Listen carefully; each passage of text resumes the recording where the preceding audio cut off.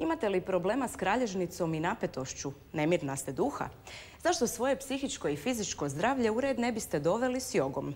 U idućem prilogu otkrivamo vam sve o jogi i kako vam ona može pomoći. Kifoza, lordoza, skolioza, degenerativne promjene kralježnice, išijas i diskus hernija, nepravilno držanje kod mlađih te ukočenost i osteoporoza kod starijih osoba. Sve su to problemi s kojima se u košta shvata joga. No, prije svega naravno, prvenstveno se postavlja osnovno pitanje, što je uopće joga? Jako je teško reći ovako u par minuta što je joga. Međutim, možemo reći da je joga nauka o tijelu, umu, duhu i duši. Tako da obično se ljudi susreću sa onim prvim e, fizičkim aspektom joge, pa tako i danas je nama tema joga za kralježnicu. Ono što mi želimo postići u onom fizičkom aspektu joge kroz jogu u svakodnevnom životu je da se čovjek jednostavno bolje osjeća. Nećemo govoriti o apsolutnom zdravlju, zato jer imamo i drugih stvari u životu koje trebamo postići, a ne se samo baviti isključivo sa svojim fizičkim zdravljem i biti na taj način opsjednuti time, ali e, pokušavamo napraviti tako da nam tijelo ne stvara probleme, jer kaže se, e, kao što je Paracelsius rekao, da zdravlje nije sve, ali sve ostalo bez zdravlja je ništa. Pa kad govorimo o jogi ne smijemo govoriti samo o fizičkom aspektu joge, već moramo govoriti o tome da e, tu imamo i onaj element e, duhovnosti i imamo normalno elemente kako da se mi bolje nosimo sa našim svakodnevnim stresom i naš psihički dio. E, u jogi u svakodnevnom životu mi govorimo o tome da trebamo postići četiri zdravlja. Trebamo postići fizičko zdravlje, mentalno, socijalno i duhovno. Pa onda pod fizičkim zdravljem, to su naše fizičke vježbe, asane, isto tako vježbe disanja koje automatski djeluju i na naše mentalno zdravlje, što znači E, da uspijevamo razmišljati, pa ne onako ko Hrvat. Hrvatu kad nešto kaže, to on će reći, a ne može, teško je, neće biti dobro. Nego jednostavno da probamo razmišljati moguće i ja to mogu napraviti.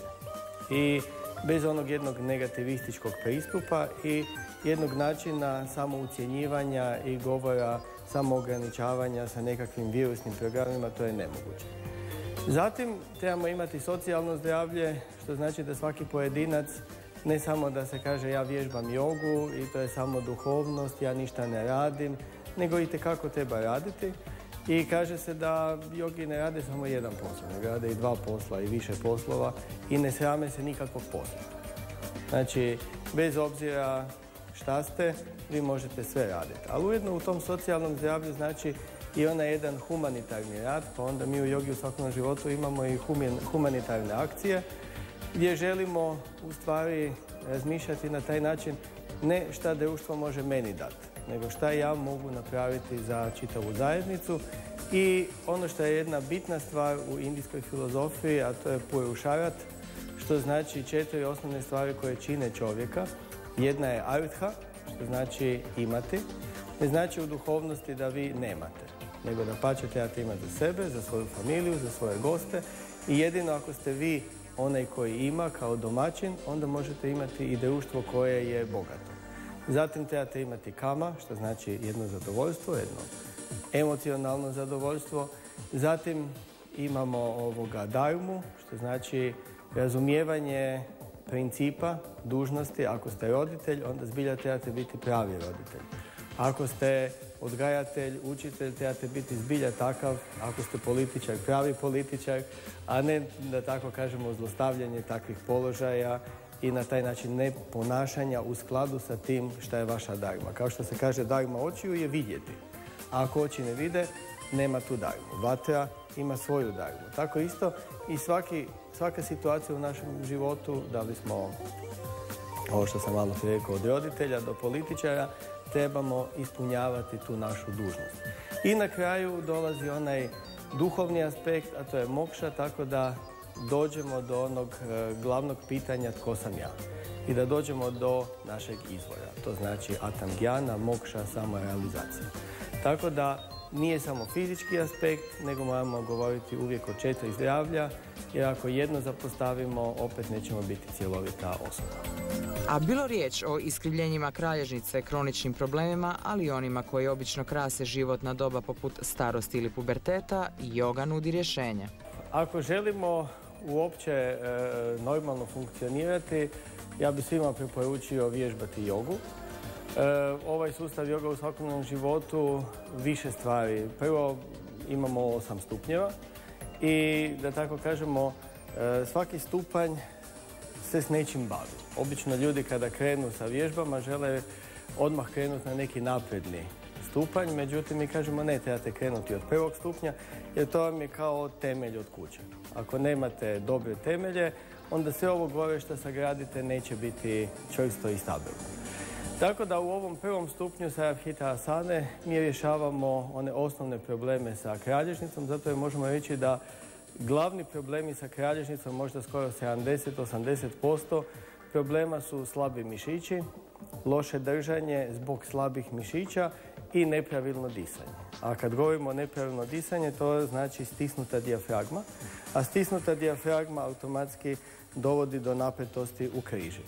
I s druge strane možete vidjeti da bilo koje e, stresna situacija, strah, e, nesigurnost jednostavno dovodi do toga da e, nas počinju boliti križa. I onda ako naučimo pravilno disati, ako uspijemo taj dio opustiti, onda ćemo i smanjiti te bolove u križima koji nisu uvijek e, problem sa diskusom, problem sa nekakvim e, lomovima kralježnice, već jednostavno ili preslabi mišići ili ta jedna nakupljena napetost.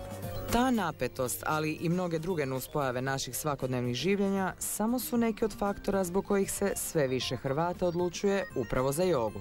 Znači, ja sam počeo jogu vježbati prije nekih deseta godina, bavio sam se profesionalnom sportom, atletikom i jednostavno mi je promijenila život. Evo, kao što je prije navedeno, sami Vek Pur je rekao, baš u svakom aspektu mi je ušlo u život. I to pokušavam na takav način nekakav i djelovati. Nije lagano, mora se priznati nije lagano, ali s obzirom radom na sebi djeluje se svakako i na društvo oko sebe. Pa meni je kod joge možda onako najljepše što je jedina neuspojava zaista dobro raspoloženje, niti bol na koljena, niti E, bol u kralježnici, kao kod većine sportova, uvijek su tako neke neuspojave. Možda imaš lijepo tijelo i zdravo tijelo, ali ga uvijek moraš liječiti nečim ili od bola ili od stresa, a ja to s jogom još nisam doživjela, tako da zaista meni jedina neuspojava je da sam ja bolje i veselije i da neuspojava nema. Tražila sam sebe u sportu, u puno sportova i e, fizički bi se znala dobro osjećati, ali bi mi falio onaj sklad, balans. I kako sam malo po malo slušala o jogi, sam se odlučila da ja to vidim kako je. I stvarno, stvarno osim fizički što se dobro osjećaš, e, nađeš taj mir u sebi opustite i u sklad dovede cijelo tvoje tijelo. I definitivno je nešto najljepše što sam otkrila i, ovaj, i sretna sam šta, što mogu vježbati jogu. A tu sreću su prepoznali i mnogi drugi građani, inače uobičajeno zatvorene hrvatske javnosti spram svega netradicionalno našeg. Pa evo, joga u svakom životu je već u našim krajevima 27-28 godina i mogu reći da Jako puno ljudi dolazi vježbati kroz naše programe, da li je to samo joga kroz kralježnicu e, za rješavanje problema sa kralježnicom, da li je to joga za djecu ili je to onaj naš redovni program koji mi imamo ili sada što imamo jogu za nezaposlene. E, praktički jako puno ljudi dolazi vježbati zato su shvatili da nešto trebaju za sebe napraviti. Ukoliko i vi želite napraviti nešto za sebe, a primjerice imate problema s kralježnicom, u jednoj od naših sljedećih emisija pogledajte set yoga vježbi upravo za taj problem.